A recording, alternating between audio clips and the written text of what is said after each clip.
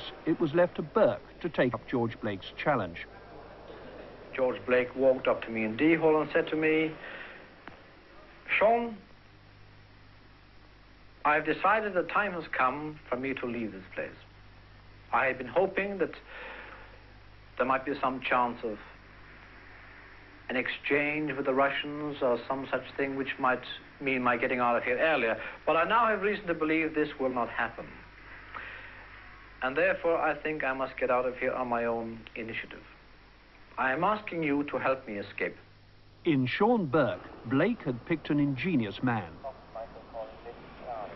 Bourke's masterstroke was to smuggle into Wormwood Scrubs a two-way radio. This is Baker Charlie calling Fox Michael. Baker Charlie calling Fox Michael. Can you hear me? Come in, please. On the night of the operation, I will hand you three items. A brown envelope, a piece of paper, and two keys on a ring. In his cell, thanks to poor prison security, Blake could safely plan his escape with Bourke, who'd now been released and was speaking to him from the darkness just beyond the prison walls. Uh, yes, all clear so far. Continue, please. When I stop the car, I will name a particular street and a particular house in that street. Unknown to Blake at the time, Bourke was recording all these radio conversations.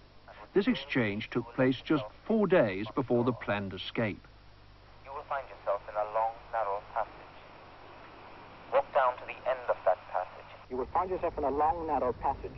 Walk down to the end of that passage, literally to the end. Bourke wanted to be able to prove, as he afterwards did, that he really had masterminded this part of the escape. He was gleeful at the prospect of humiliating British authority.